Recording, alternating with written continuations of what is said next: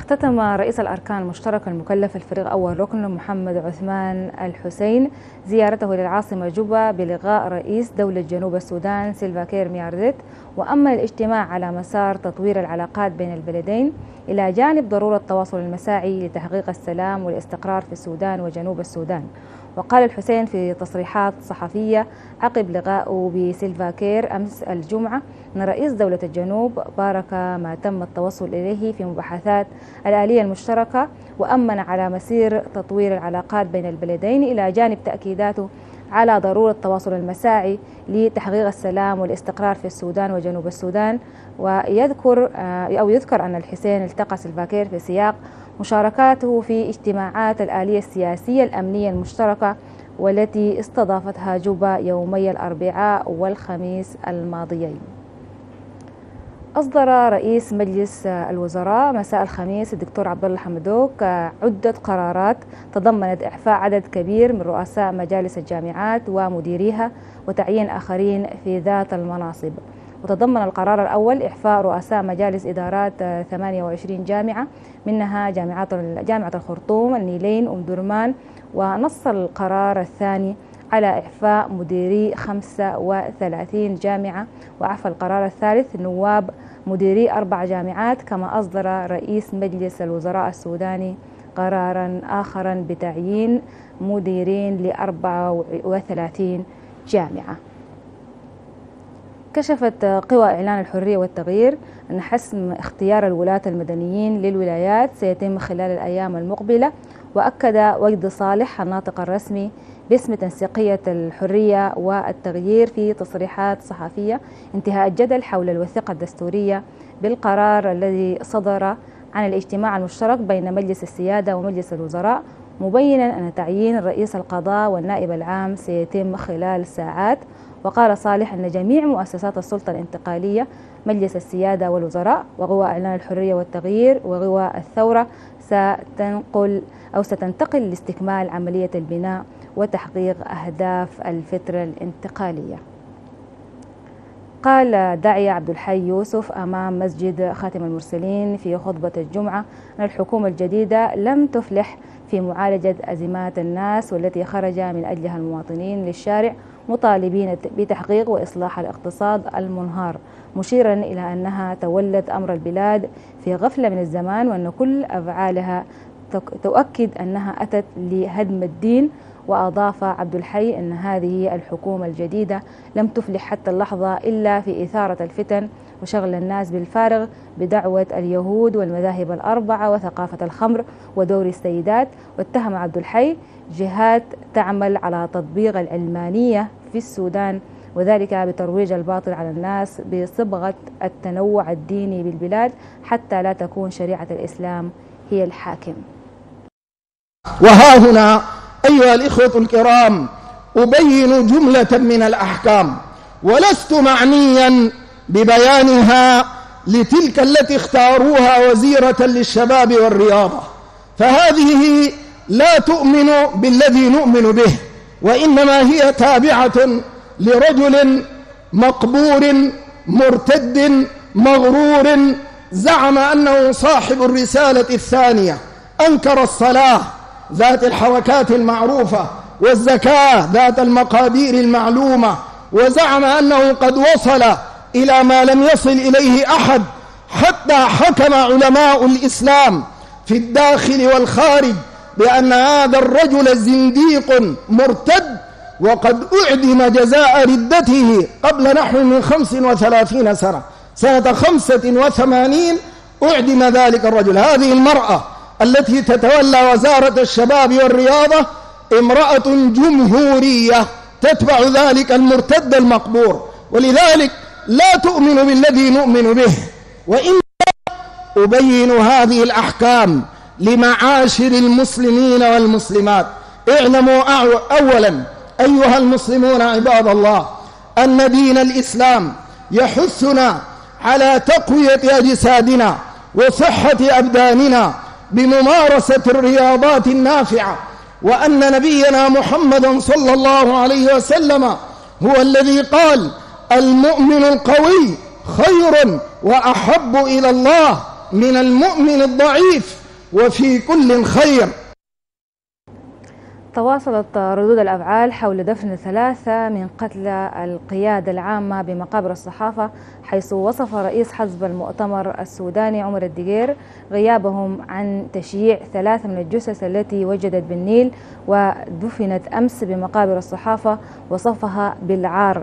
وقال الدقير في تغريدة عبر حسابه الرسمي بالفيسبوك هنالك ثلاثة من شهداء الثورة تم دفنهم دون تشييع يليق بهم.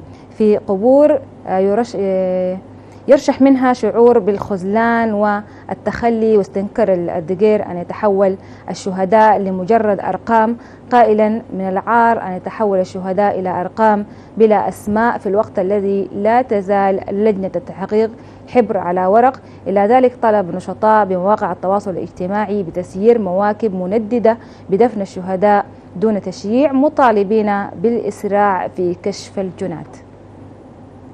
كشف السفير المصري بالخرطوم حسام عيسى عن وصول دفعة ثالثة من المساعدات الإنسانية بالخرطوم خلال الأيام القادمة مبينا أن الجسر الجوي المصري يعمل أو يحمل عدد من المساعدات على رأسها مواد الإيواء وأدوية بشرية. وقال عيسى في تصريحات صحفية أن الحكومة المصرية ستواصل دعمها للسودان وستقف مع معه في كافة المحافل مؤكدا دعم القاهرة للخرطوم من أجل تحقيق السلام واستدامة التنمية والمساهمة في عودة السودان واندماجه في المجتمع الدولي في أقرب وقت ممكن.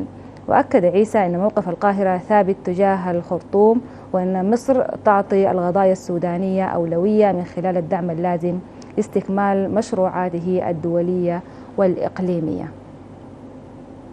أكد الحزب الاتحادي الأصل أن مشاركته في رئيس مشاركة رئيس مجلس الوزراء دكتور حمدوك في اجتماعات الأمم المتحدة مؤخرا سيكون لها مدلولات ومؤشرا إيجابيا في رفع اسم السودان من قائمة الإرهاب. وقال مالك درار مقرر قطاع التنظيم بالحزب في تصريح صحفي أن الاجتماعات واللقاءات التي أجرتها قيادة الحزب بالخارج والتي شملت منظمات المجتمع الدولي تم من خلالها مناقشة قضية رفع اسم السودان من قائمة الإرهاب مشيرا إلى ضرورة مشاركة الجميع في المساهمة في تحسين الاقتصاد بصورة عامة ومعاش الناس بصورة خاصة. مؤكدا أن الثورة التي استطاعت أن تقتلع النظام البائد تستحق تكافلا وأن تكافأ أيضا برفع اسم السودان من قائمة الدول الراعية للإرهاب. أجمعت عدد من القيادات الإدارة الأهلية بالبحر الأحمر على ضرورة إشراك أبناء الشرق في حل كافة القضايا السياسية والاجتماعية وبالإقليم وطلب المتحدثون في ورشة قضايا الشرق التي نظمها مركز الحوار والدراسات الاستراتيجية بالخرطوم بأهمية إبعاد الأطماع السياسية عن قضايا التنمية مؤكدين الدور المجتمعي البارز الذي تقوم به الإدارة الأهلية في حلحلة كافة القضايا الاجتماعية التي تطرأ أحيانا من شح الخدمات التنموية المقدمة للمواطن في بعض المناطق وأكد وكيل ناظر البني عامر في ولاية البحر الأحمر أن ما تم أو ما قامت به الإدارات والنظارات الأهلية يعتبر صمام أمان من فتن كثيرة يسعى من ورائها أصحاب النفوس الضعيفة لإحداث شرخ مجتمعي بين القبائل في ولاية شرق السودان وفي السياق أشار ناظر الحباب بالبحر الأحمر إلى تسليمهم مذكرة للسلطات السيادية تطالب بتكثيف الجهود التنموية لشرق السودان وفق محددات عملية قال أنها ستجد التنفيذ العاجل من قبل السلطات في القريب العاجل مطالبا الأحزاب بعدم المتاجرة السياسية بقضايا الشرق التنموية. ناقش الاجتماع المشترك بين وزير الصحة الاتحادية دكتور أكرم علي التوم وولاة ولايات شمال وغرب وجنوب كردفان. ناقش الاجتماع بعض القضايا الصحية التي تهم الولايات الثلاث والمشاكل ذات الصلة بالقطاع الصحي والمتمثلة في نقص الكوادر وعدم توفر الأجهزة والمعدات الطبية. واتفق الوزير مع الولاة خلال الاجتماع الذي عقد بمكتبه على عدد أو أعداد تصور متكاملة أو إعداد تصور متكامل لكافة احتياجات الولايات لفترة الأشهر الثلاثة المتبقية من العام الحالي مناديا بالاهتمام بالمراكز الصحية تخفيفا للضغط على المستشفيات ونوه الاجتماع إلى أهمية زيادة الميزانيات المخصصة للصحة في ميزانية العام القادم وكشف الولاة عن جملة من التحديات تواجه الصحة بولاياتهم وعلى رأسها النقص الكبير في الخدمات الصحية والافتقار للمعينات والأجهزة الطبية وعدم توفر محارق طبية ووحدات أكسجين في المستشفيات والحوجة لمحاجر خاصة في الولايات الحدودية. ودعا السادة الولاة وزير الصحة الاتحادي إلى دعم إدارات الخدمات الصحية بولاياتهم وإلى زيادة كل ولاية خلال هذا العام. ومع هذا الخبر نختتم عرضنا الإخباري لهذا الصباح. يتواصل معكم هذا النبض الصباحي بعد الفاصل.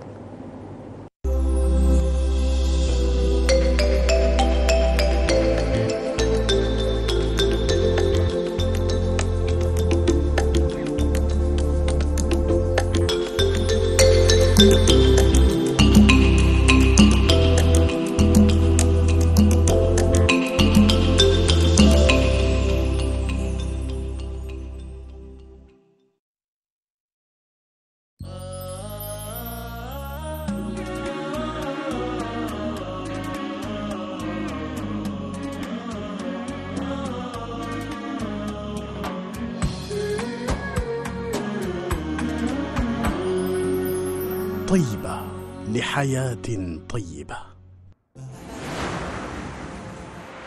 لتدخل البوابة الصوتية لإذاعة وقناة طيبة الفضائية. اتصل على الرقم 52 53 من كل الشبكات.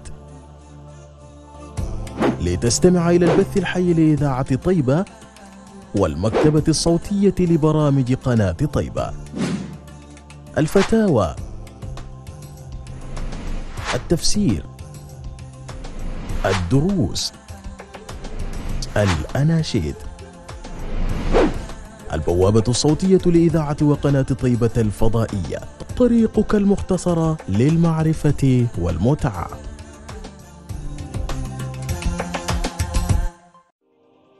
من صاحب الثورة؟ الشعب من الذي ضحى؟ الشعب من الذي عانى؟ الشعب من الذي عبأ الشوارع بالحشود والأعلام؟ الشعب من الذي أسقط الاستبداد والفساد؟ الشعب من الذي بنى الآمال والأحلام بالتغيير والعيش الكريم؟ الشعب فأين الشعب؟ كيف نضمن للشعب حقوقه وتحقيق مطالبه؟ السودان من الثورة إلى الدولة تغطية إخبارية برامجية شاملة على مدار الساعة.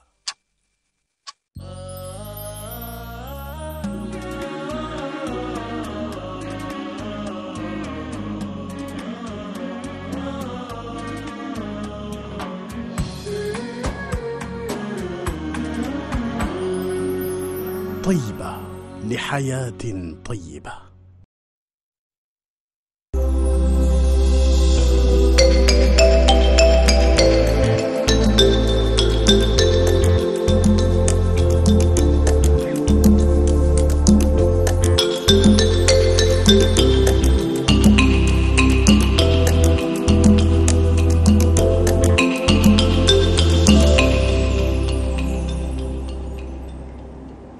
الصباح لكم مشاهدينا من جديد وتحايا الخير للجميع. نحن دائما في موسم الخريف نتحدث دائما عن أن الخريف في أصله هو الخير. ونتمنى دائما أن يرد الخريف لأصله الحديث عن خير الخريف والإنتاج في الخريف. ولكن يعني ما شاهدناه مجموعة من المشكلات في هذا الموسم في الإعاقة في الطرقات وتبقى المشكلات الصحية هي المشكلة الأعظم. كثير من الولايات تتحدث عن أنه في انتشار لمرض الكوليرا. والكوليرا نعلم جميعا أنها واحدة من الأمراض اللي بتسبب ته- تهديد كبير ل- للصحة وسريعة ال- الانتشار. دعونا من خلال المساحة الصحية اليوم نتحدث عن الوقاية من مرض الكوليرا مع دكتور ليلى حمد النيل هي اختصاصي اجتماعي.